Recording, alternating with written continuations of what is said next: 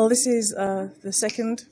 Is this? Yeah? Yeah. This is the second Kadal Fest series, Kadal Fest Samburam. This is organized by Nottingham Trent University and the university by Judith Misrahi Barak, the University Paul Valéry, Montpellier 3.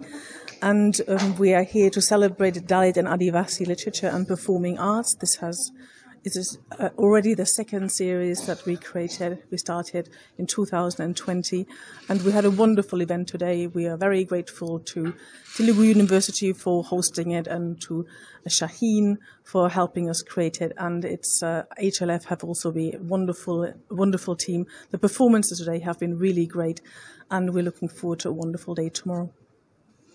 Thank